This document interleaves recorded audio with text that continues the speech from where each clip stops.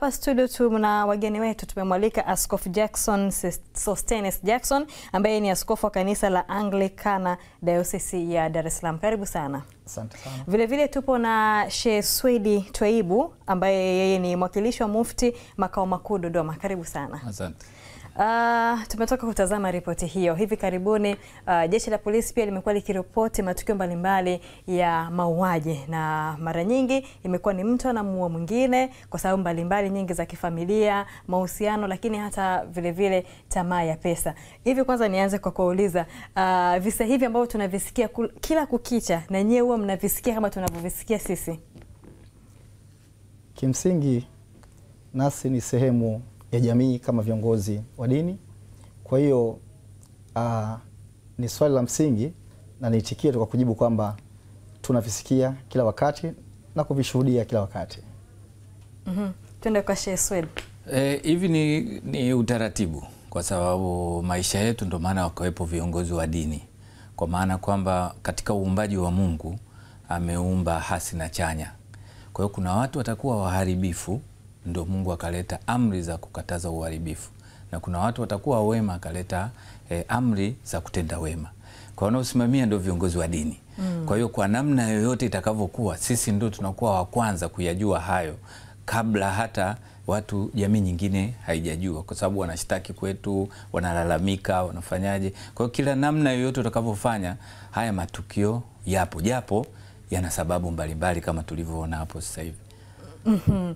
Na umeeleza vizuri kwamba uh, nyie mnakuwa wakati mwingine ni watu wa kwanza mm. kusikia visa hivyo. Na kati ya mambo ambayo yamekuwa yakitajwa sana kusababisha watu kuuana ama mtu kumuua mwenzake ni masuala ya mahusiano. Tulishuhudia mwaka uliopita eh, mwanamke akamchoma mwanaume kwenye nyumba, lakini pia wanaume wamekuwa wakiwaua wanawake na visa vimekuwa vikiripotiwa, na tunajua mara nyingi ndoa ama mahusiano haya yanakuwa yana, yana viongozi wa dini ndio wao wanayasimamia, na hata tukisikia majina ya wahusika tunaona na majina mazuri ya Kikristo na majina mazuri kabisa ya Kiislamu. Pengine kwenye hili swala la mahusiano, nyie viongozi wa dini, kuna sehemu mmelegalega, maanake mambo yanazidi kuwa kila siku lazima utasikia kuna kisa hiki, afu ni wivu wa mapenzi, mwanandoa kamjeruhi, wivu wa mapenzi. Nini nini kinatokea, tukitarajia kwamba nyie sasa ndio wakutusaidia wa kuwalea vijana kuwafikisha katika eh, maswala ya ndoa?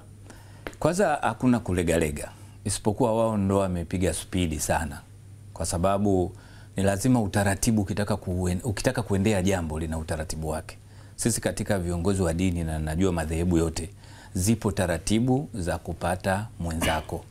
Sasa wao wanatafuta njia ambazo ni za kwao wao, na ndio maana wanadumbukia kwenye mazingira kama hayo. Huwezi kupata mpenzi au mtu utakayetaka kumuoa au kuolewa naye alafu ukapita njia ambazo Mungu hajazi hajazielekeza, lazima utapiga mweleka tu. Kwa hili unaloliona ni, ni ukengekuaji wa taratibu za kimungu, na ndio maana tunasikia mara mmomonyoko wa maadili. Mmomonyoko wa maadili unatokana na mtu anapokuwa nje ya utaratibu wa kidini. Hakuna madhehebu yote yanayoelekeza kwamba ukitaka mpenzi basi utavamia popote, mtakutana naye katika sehemu ambazo sio sahihi, sehemu za starehe. Kwa vyote vile, ukikutana naye disco, ipo siku mtakuja kucheza disco nyumbani kwenu, alafu mm. mtaumizana. Ipo kuna utaratibu sasa hivi ambao sio mzuri ambao lazima ni useme, nimepata nafasi ya kusema mm. Kuna watu wanafanya mahusiano na yamekuwa kama yanaendekezwa kabla ya ndoa. Hivi vitu lazima vitaleta vita balaa katika, katika jamii, na sisi kama viongozi wa dini hatuwezi kupita nyumba hadi nyumba tunamwambia hivi, wewe una watoto wangapi mpaka unataka kuolewa au kuoa? Ushaona watu wanafanya mahusiano nje ya utaratibu, lazima matokeo yatakuwa hayo. Kwa hiyo unakuta mtu tayari ana mtoto mwingine ana watoto wawili, ndo wanafunga ndoa. Unafunga ndoa ya nini, hali ya kuwa unajua kitu kilichotakiwa kuanza ni ndoa, alafu baadaye ndio hayo matokeo. Kwa hiyo kimsingi watu wenyewe ndo wamepiga hatua zaidi za uharibifu, za kukosa nidhamu ya kidini, ndio hiyo iliyofika hapo. Lakini sisi vitabu vya Mungu mm. kila Ijumaa na madhehebu mengine Jumamosi na Jumapili wanaendelea kama kawaida, na wanawasi hao hao unaoona wanafanya hayo. Kwa ni, ni hali ya mamonyoko wa maadili ambayo inasababishwa na watu kwenda kinyume na amri na maelekezo ya Mungu. Mm Hmm, watu kwenda kinyume na amri na maelekezo ya Mungu. Uh, nirejee kwako kwa Askofu Jackson. Najua wanandoa kabla ya kuingia kwenye ndoa kuna mafunzo ambao huwa wanapata eh, na kinachoonekana hapa pengine ni kukosa uvumilivu. Mafunzo haya mnayatoa vizuri kweli kweli kuhakikisha mnawajenga vizuri, lakini hata sio tu wao ambao wanatarajia kufunga ndoa, mnakuwa na vijana tangu wakiwa wadogo, mnawalea vipi ili kuepusha basi eh, taifa letu ama jamii yetu na matatizo ambayo tumekuwa tukiyashuhudia? Asante. Ni swali pana kidogo, lakini naweza kulijibu katika uh, mazingira ya kwa ufupi sana. Kwanza kabisa, kesi ambazo tunazisikia kuhusu masuala mazima ya mahusiano, lazima tukubaliane kwamba mahusiano sio jambo baya, ni jambo zuri, na mwenye kuanzisha mahusiano kwa msingi wa maandiko ni Mungu mwenyewe, ndiye aliwaumba Adam na Hawa akaweka katika mahusiano. Lakini siku zinavyoendelea, imefika mahali mwanadamu huyo katika mahusiano yamepelekea badala ya kuona amani na furaha ni maumivu na mauaji ambayo tunayashuhudia. Kwa hiyo niseme kwamba msingi wa kwanza wa hayo ni nini?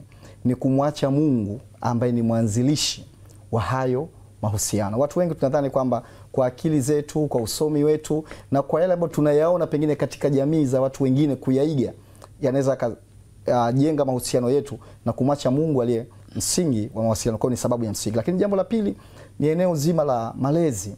Mahusiano hayajaanza katika kizazi chetu. Wazazi wetu pia walikuwa na mahusiano zama kwa zama mpaka tukafikia katika hatua ambayo tupo nayo. Unajiuliza swali, kwa nini hatukuyasikia hayo katika zama zao, tunayasikia sasa? Je, wao hawakuwa na wivu? Waliwezaje ku, kubeba huo wivu changamoto zinapotokea? Lakini unaweza kuona kwamba wakati mwingine inawezekana, na thubutu kusema malezi waliolelewa wazazi wetu na jamii ya sasa, kuna mahali jamii tunalegalega katika eneo la malezi. Ndio maana ni rahisi kusikia watu wakisema watoto wa siku hizi hawasikii, lakini wa zamani manake walikuwa wanasikia. Kwa nini wa zamani walisikia?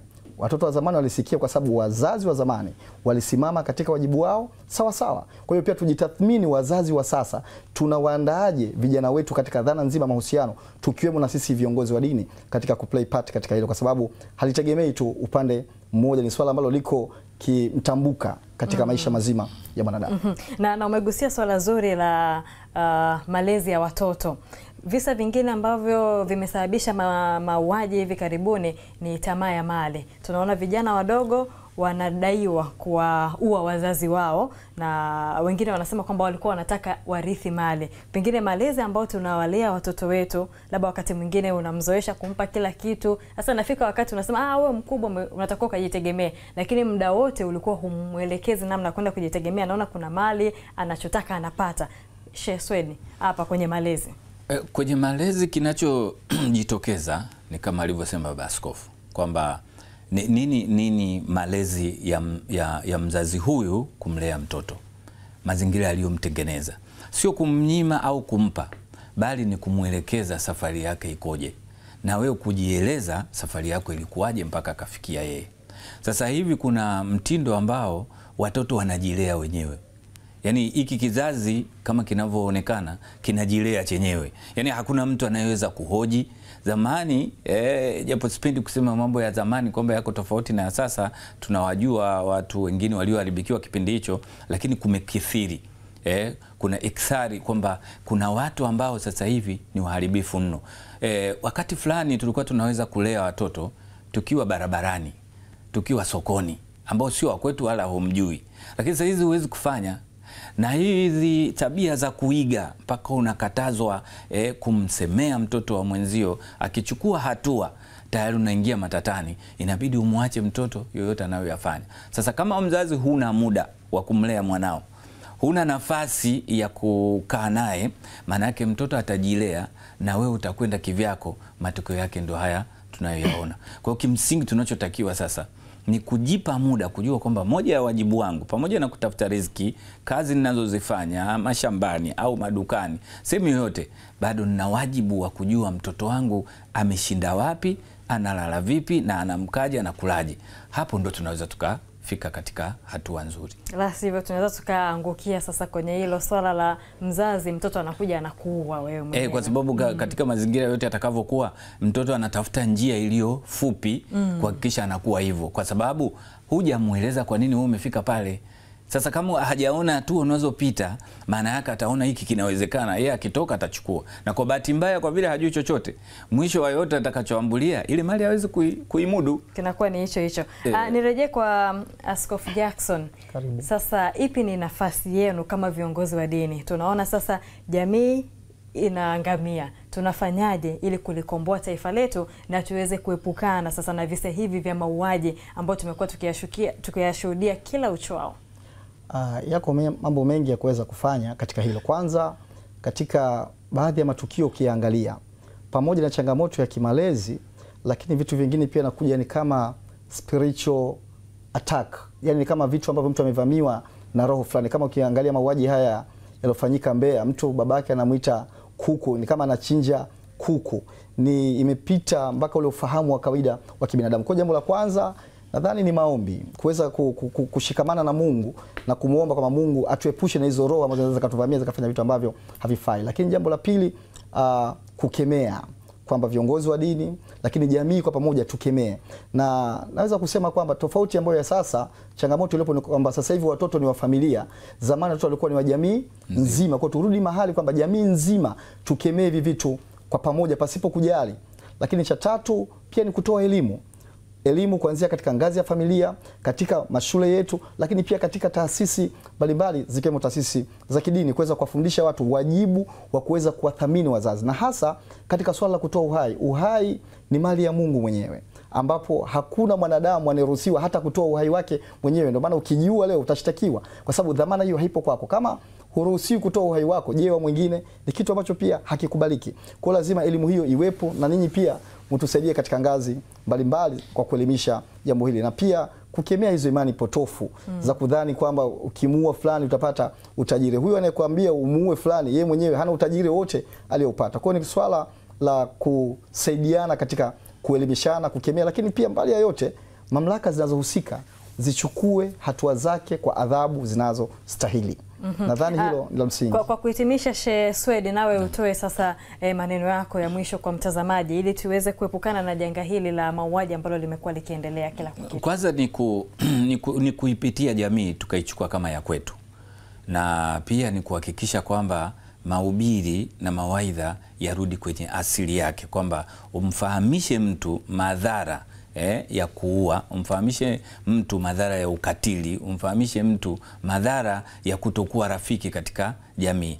Hapo sasa, ili mtu akizomewa sasa katika yale, watu wengine watarudi, lakini kuna muhemko ambao unatokea sasa hivi wa kimaisha ambao mtu anafikiri anaweza kapata mali kirahisi, anaweza kapata chochote kirahisi, kumbe sivyo. Lazima watu waelezwe kisaikolojia, lazima hawa watu waendeshwe katika hali yako, lakini atakayeanza ni mzazi, anayefuatia ni jamii kwa ujumla. Sisi viongozi wa dini tutakuja kufuatia pale baada ya wewe kumrekebisha huyo anayekuja katika maeneo yetu ya ibada.